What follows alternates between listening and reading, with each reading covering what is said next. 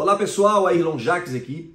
Eu estou colocando alguns assuntos em dia porque eu fiz uma cirurgia recentemente de uma fratura na canela e eu queria falar com vocês sobre um acontecimento lá na Alesc, na Assembleia Legislativa do Estado de Santa Catarina, onde o superintendente ou presidente da FESPORT, o atual presidente, o Paulão do vôlei, foi sabatinado lá na Alesc a respeito do cancelamento de vários jogos no estado oficiais por causa das enchentes, das chuvas e tal. Eu assisti tudo isso, não vi nada grave. E a gente, como gestor público, a gente tem que saber responder, vereador, deputado, autoridade, a gente tem que saber sentar, conversar, dialogar como um bom político. Por isso se estuda política, por isso que política é uma ciência. E ele não foi capaz de fazer isso, ele, ele foi grosso o tempo inteiro. No final da audiência, ele levantou, foi para cima do deputado Fernando Crele, chamou ele de babaca, recuperaram as imagens, até vou deixar um trecho do vídeo aqui para vocês assistirem. No encerramento da audiência, estávamos todos saindo, o presidente da FESPORT levanta e veio para cima, onde o deputado Mário Mota estava, ficou na frente, o segurança da casa vieram, veio para cima e baixou o tom realmente com alguns xingamentos. E os xingamentos, é, a minha pessoa... E quem briga, quem consegue brigar com Fernando Crelen, pessoal, tem que ser muito esforçado. Porque o cara é muito gente boa, não é porque ele é meu amigo e porque eu gosto e admiro ele, mas é um cara muito gente boa, muito polido, é um cara do esporte, não é um cara que está tentando, que não entende da coisa, está tentando opinar, não, ele é do esporte. Ele se elegeu com os votos do, do, dos esportistas de Santa Catarina. E não houve um mínimo respeito a partir do presidente da FESPORT. Eu já não gostei da nomeação dele, eu critiquei isso inclusive nos grupos de WhatsApp, porque o Paulão ele já vem de um processo lá no Rio Grande do Sul, que ele foi condenado por improbidade administrativa e ficou três anos sem direitos políticos, sem poder ser candidato a nada e sem poder participar de cargo nenhum.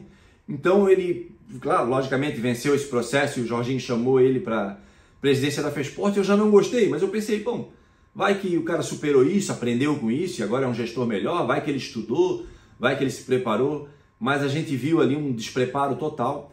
Acredito que a cabeça dele vai rolar em janeiro porque janeiro o, tem uma previsão do governo do estado de fazer uma mini reforma ali na administrativa. E eu acredito que ele não. É muita pressão, os deputados todos saíram em apoio ao Fernando Crelli. Até eu vou deixar mais um trechinho aqui para vocês verem os deputados apoiando. Dê uma olhadinha aí, mas fiquem aí que eu volto para conversar mais um pouquinho sobre isso. A, a minha consideração pelo seu trabalho que está sendo feito. Quero parabenizá-lo pela sua postura. Eu quero me solidarizar com o deputado Fernando Krellen também me solidarizo com Vossa Excelência. Também quero aqui externar minha solidariedade a Vossa Excelência. A nossa solidariedade. É Paulão o nome desse cidadão, né? Pega a tua medalha e vai-te embora. Tem toda a nossa solidariedade. Parabéns ao senhor pela postura que teve. Quero aqui também externar a minha solidariedade. Deixar minha solidariedade ao deputado Fernando Krelin. Receba o abraço fraterno, carinhoso, amigo solidário de toda a bancada do PSD. Fica aqui o meu a parte, a fala do senhor. Agradeço, deputado Fernando Krelin, minha solidariedade a Vossa Excelência. O esporte, pessoal, já sofre naturalmente. Sempre que tem que cortar alguma coisa, que falta recurso, corta primeiro no esporte.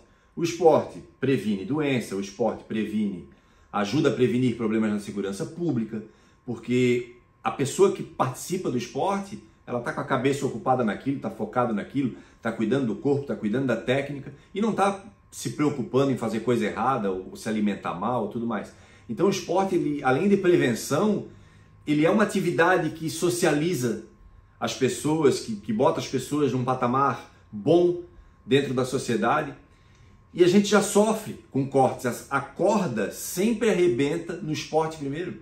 E aí vai um gestor, a autoridade máxima do esporte de Santa Catarina, fazer uma lambança naquela na leste.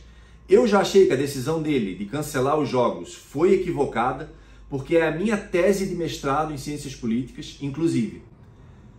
Uma democracia forte, boa, ela tem que ter vários atores participando, não só legislativo, executivo e judiciário. Tem que ter todos os partidos políticos, deputados, vereadores, é, comissionados, executivos, todos participando das decisões, porque quanto mais pessoas participando, é óbvio que tem um, um líder que vai tomar a decisão final. Mas quanto mais ele ouvir os atores políticos, mais acertada é a decisão dele. Quanto menos pessoas ele ouvir, me parece que ele só conversou com a Defesa Civil e entre eles ali mesmo resolveu cancelar os jogos, a decisão fica ruim. Sabe? Outras cidades se ofereceram para fazer esses jogos, para servir como sede, para concluir os jogos que faltavam. E ele não quis, não ouviu ninguém, simplesmente tomou a decisão, não quis reconsiderar e ainda foi para cima do deputado. Pela leitura labial, aparentemente chamou o deputado de babaca e outros, outros palavrões piores aí. Então isso para o esporte é terrível, não é bom. Espero que o, que o governador Jorginho Melo realmente reveja isso aí e tire esse cara daí. Ele não tem que estar nem em Santa Catarina. respeito ele como atleta olímpico, ele, ele esfrega essa medalha na cara de todo mundo. Eu odeio da carteiraço. Às vezes a gente precisa falar que ah, eu fiz mestrado nisso, fiz. Eu tenho 12 pós-graduações e poucas pessoas sabem disso. Estou fazendo minha segunda faculdade e somente meus amigos sabem disso, porque eu não fico dando carteiraço. E o cara pega aquela medalha olímpica e tenta esfregar na cara de todo mundo como se aquilo fosse um passe para ele poder fazer qualquer coisa na gestão da FESPORT. Não achei legal, espero que ele saia daqui e coloque uma pessoa mais competente, mais dedicada, mais preparada para tocar o esporte catarinense. Fernando, um abraço, meu querido. Qualquer coisa, eu já conversei no WhatsApp contigo, estou à tua disposição. É, sou teu amigo. Essa situação ficou muito chata. Espero que isso não se repita. Valeu, pessoal. Abraço do Jax. Os